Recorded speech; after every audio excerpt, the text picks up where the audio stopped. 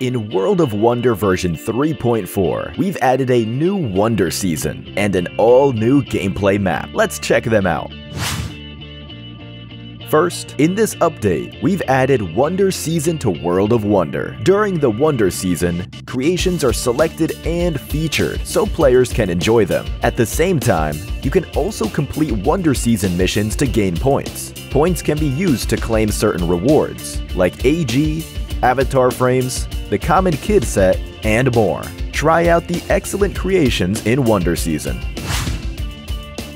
With this update, you can now enjoy an all-new Erangel after a century-long drought. Experience new gameplay, exciting gameplay that involves transforming into vampires and werewolves with tower defense gameplay is waiting for you. Head to World of Wonder to check it out.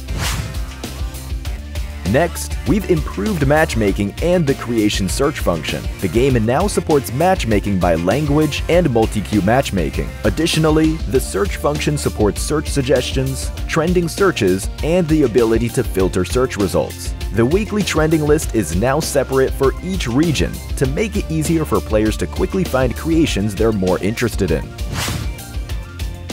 Finally, we've also made improvements to the tutorial to help rookie creators quickly get familiar with creating. As for creation editing, we have added dragging and placing objects from the backpack, a minimizable backpack UI, backpack categories, and filtering, as well as character movement and building object editing. This lets creators quickly locate objects they want and improves efficiency in placement and editing. Experience the latest improvements for yourself. That's a wrap for this introduction to some of the World of Wonder version 3.4 content. We look forward to seeing all your brilliant creations in-game. For more new version updates, be sure to follow the official community.